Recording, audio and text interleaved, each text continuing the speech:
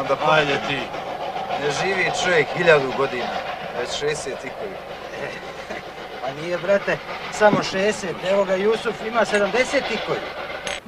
Hvala, ne daj se živ podzemlje. E, davo, ne davo, isto mi je. Zna se šta me čeka. Pa šta ti sad u tim godinama? Ej, 73. Čovjek bi rekao mnogo je, a kako brzo proletiše.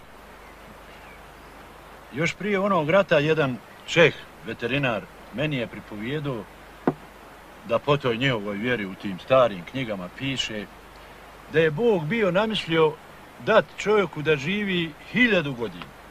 Mašala, hiljadu godina. E, To bi bio život. I šta je bilo? to je bilo kad je Bog prvog čovjeka stvorio, Adema. Adem se zvao, dobro se sjećam. Sve mu pružio, vas rahatluk, i pojest, i popit, i, i, i ženu mu stvorio.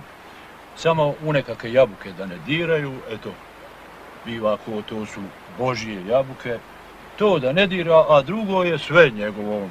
I šta je bilo? Al ta ženetina navrati Adema da trgaju jabuke. Bog to vidio, gdje neće, jel? Naljutio se i kapak, nesta rahatluka, nesta svega. I od tada se čovjek pati, živi i mre koji svako drugo hajvanče. Sve zbog te žene. O jebojo, ja mater.